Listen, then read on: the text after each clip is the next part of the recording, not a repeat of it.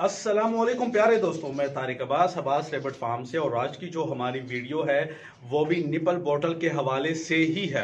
अगर आप दोस्तों ने मेरी पहली वीडियो देखी थी निपल बॉटल पार्ट वन तो उसमें मैंने ज़िक्र किया था कि जो टैंक वाला सिस्टम है, जैसे आप बहुत सारे केजेस के जो कनेक्शन होते हैं, वो करते हैं पाइपलाइन आप कर देते हैं टैंक लगाते हैं, उसके लिए आप बड़ी सी बाल्टी या बोतल या कुछ भी आप उसके लिए रखते हो, और उससे आप जितने भी केजेस हैं, उनका कनेक्शन करते हैं, और उससे फिर पानी की सप्लाई होती है, उससे ये निपल बॉटल जो है, ये वाला, ये बेहतर क्यों है, और उसमें हमें आसानी क्या है?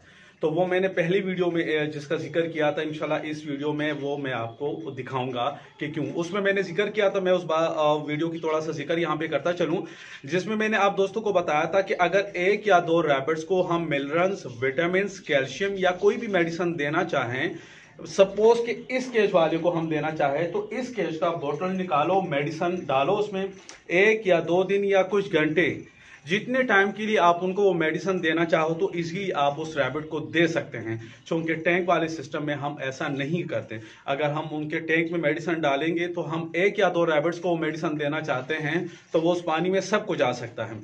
इसलिए इस वीडियो में इंशाल्लाह मैं आपको दिखाऊँगा भी कि जो मैंने बात की थी, ये इजीली आप देख सकते हैं दो बोतल लिखे हुए इसका जो कलर है आपको, जो है येलो नज़र आ रहा होगा। बखूबी मैं करीब से भी आप दोस्तों को दिखा देता हूँ। ये देखें आप। ये आपको येलो नज़र आ रहा होगा, ये बिल्कुल वाइट है। इसमें कुछ मिलरन्स जो है, हमने इन रैबिट्स के लिए डाला हुआ है और इसमें सादा पानी है। क्योंकि इस रैबिट केज में जो रैबिट है, उनको ज़रूरत है, इसलिए इसी तरह इस केज में भी आप देख सकते हैं। ये देखें। यहाँ पे कुछ बनीज हैं उनको मिनरल्स की विटामिन की ज़रूरत थी तो वो चीज़ें मैंने यहाँ पे इनके लिए ऐड की है और इस केज में आ, जो बॉटल है ये देखें इसमें सादा पानी लगा हुआ है। यहाँ पे हम थोड़ा सा आगे भी आते हैं तो यहाँ पे भी मैं आप दोस्तों को दिखा देता हूँ ये देखें। ये एक ब्रीडर फीमेल है उसके लिए भी हमने कुछ मिनरल्स पानी में ऐड किए हैं।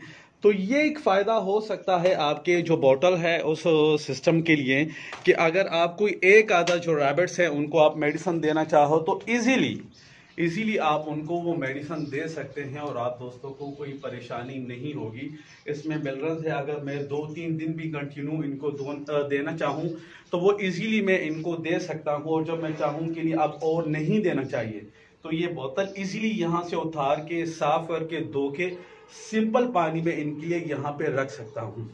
अगर कि कोई ऐसा रैबिट है इसमें कि जो ज़्यादा पानी पीता है, छोटी बोतल अगर आपने लगाई है सपोज़ 500 सौ वाली, जैसे कि ये ये 500 सौ वाली बोतल है। अगर आपको लगता है कि एक रैबिट ये जल्दी ख़त्म करता है तो आपको चाहिए कि आप बड़ी बोतल जो है उसके लिए लगा सकते हैं।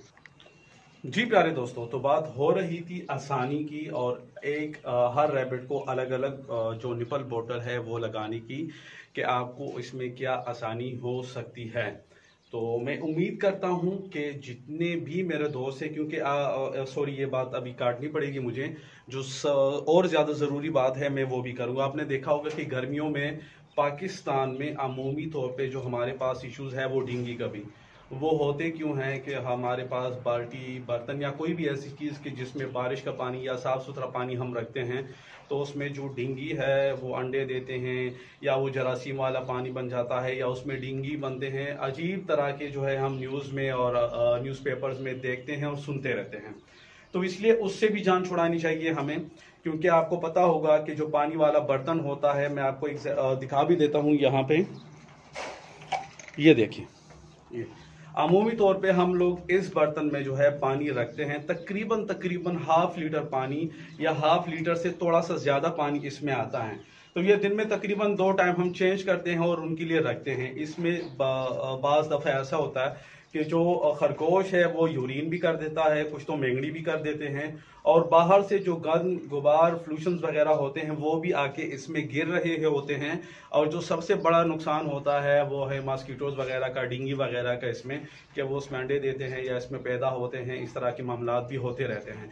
तो निपल बोतल के हमें सहूलत भी है, हमें फ़ायदा भी है हम नुकसान से भी बच सकते हैं, और हमारे खरगोश भी जो हमारे फार्म पे होते हैं, वो भी इस तरह की सूरत से बच सकते हैं। एक दोस्त ने मुझसे सवाल भी किया था कि क्या मच्छर रैबिट्स को काट सकता है या काटता है? जी, बिल्कुल काट सकता है और काटता भी है। अगर स्पेशली मैं अंगूरा की बात करूँ, जो कि मेरे फार्म में 80 या 85 परसेंट या 90 परसेंट सिर्फ़ अंगूरा रैबिट्स ही हैं। इन्होंने, आपने देखा होगा कि इनके जो नाक वाला एरिया होता है, यहाँ पे बाल बहुत कम होते हैं या जो इनके कान होते हैं।